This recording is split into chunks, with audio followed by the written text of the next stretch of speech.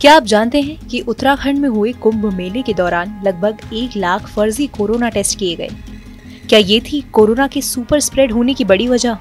नोदिस में आज हम आपको बताएँगे इस घोटाले की पूरी कहानी। ऐसा क्यों किया गया? ये पूरा फर्जीवाड़ा किस तरह चलाया गया? और आखिर दो महीने बाद इतने बड़े घोटाले का खुलासा कैसे हुआ? जुड़े रहिए हमारे साथ। सबसे पहले जानते हैं कि क्या कुंभ मेले में कोरोना टेस्ट घोटाला हुआ? कहानी शुरू होती है पंजाब के फरीदकोट से। यहाँ रहने वाले एलआईसी एजेंट विपिन मित्तल के फ़ोन पर 22 अप्रैल को एक मैसेज आया। मैसेज में लिखा था कि उनकी कोविड टेस्ट रिपोर्ट नेगेटिव आई है और हैरानी वाली बात यह थी कि विपिन ने कभी कोविड टेस्ट कराया ही नहीं था। फिर विपिन ने हेल्थ डिपार्टमेंट और लोकल अथॉरिटीज को इसकी शिकायत की, लेकिन वहाँ से कोई जवाब नहीं मिला। इसके बाद विपिन ने Indian Council of Medical Research यानी आईसीएमआर को ईमेल के ज़रिए अपनी शिकायत भेजी। आईसीएमआर की जाँच में पता चला कि विपिन का कोविड सैंपल हरिद्वार में लिया गया था, जिसके बाद मामले की जाँच उत्तराखंड हेल्थ डिपार्टमेंट को सौंप दी गई। स्वास्थ्य सचिव अमित नेगी ने मामले की शुरुआती जाँच कराई और सामने आया कि विपिन मित्तल के अलावा ऐसे एक लाख फर्जी कोविड टेस्ट किए गए हैं। टेस्ट डेटा की जाँच में पाया गया कि 50 से ज़्यादा लोग एक ही नंबर पर रजिस्टर्ड हैं। एक एंटीजन टेस्ट किट से 700 सैंपल्स की टेस्टिंग की गई। लगभग 200 लोग राजस्थान के निवासी निकले, जो कभी हरिद्वार गए ही नहीं थे। कई जाँच रिपोर्ट में एक ही आधार कार्ड का इस्तेमाल किया गया, यानी बड़ी हेराफेरी की गई थी। आइए अब जानते हैं कि आखिर इतनी बड़ी गड़बड़ी हुई क्यों और इसका फ़ायदा किसे हुआ। कुंभ के दौरान नौ एजेंसियों और 22 प्राइवेट लैब्स की तरफ़ से लगभग चार लाख कोरोना टेस्ट किए गए थे। उत्तराखंड में निजी लैब को एक एंटीजन टेस्ट पर सरकार की तरफ़ से तीन सौ मिलते हैं। यानी एक लाख टेस्ट पर तीन करोड़ रुपए। इसके साथ ही नैनीताल हाईकोर्ट ने कुंभ के दौरान एक से तीस अप्रैल तक रोज़ाना पचास हज़ार टेस्ट करने के निर्देश दिए थे।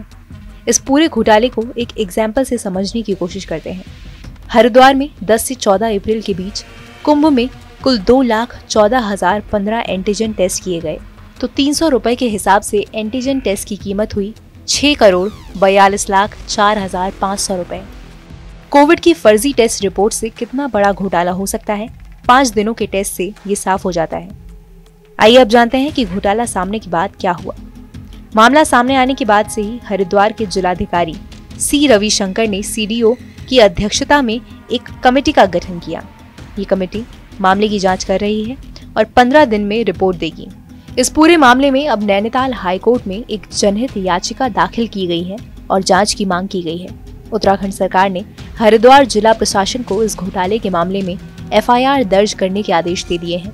वहीं उत्तराखंड के पूर्व मुख्यमंत्री त्रिवेंद्र सिंह रावत ने फर्जी कोरोना टेस्ट पर एसआईटी जाँच का स्वागत किया। उन्होंने कहा कि दोषियों पर कठोर कार्रवाई होनी चाहिए। कोविड टेस्ट के लिए कॉन्ट्रैक्ट पाने वाली प्राइवेट एजेंसी भी जाँच के घेरे में आ गई है। जल्द कंपनी मैक्स कॉरपोरेट सर्विस के खिलाफ मामला दर्ज किया जाएगा। खबर है कि एजेंसी ने उत्तराखंड स्वास्थ्य विभाग को गलत ऑफ़िस का एड्रेस दिया था और दिया गया फ़ोन नंबर भी आउट ऑफ़ सर्विस निकला। बताया जा रहा है कि आईएमए प्रधान के बेटे, डॉक्टर नवतेज ने ही पिता को अंधेरे में रखकर मैक्स कॉपरेट सर्विस के साथ एएमयू साइन किया था। उनके खिलाफ केस दर्ज किया जा चुका है। जिस तरह से कोरोना जाँच में गड़बड़ी सामने आई है, उसने स्वास्थ्य विभाग पर बड़े सवाल खड़े कर दिए हैं। देखना होगा कि जिला अधिकारी द्वारा बनाई गई टीम किस तरह से जाँच करती है और जो इसमें दोषी होता है, उस पर कार्रवाई होती है या नहीं? बता दें, उत्तराखंड में अब तक लगभग तीन लाख चालीस हज़ार कोरोना केस सामने आ चुके हैं। आपको कैसा लगा हमारा ये वीडियो? कमेंट सेक्शन में लिखकर ज़रूर बताएँ।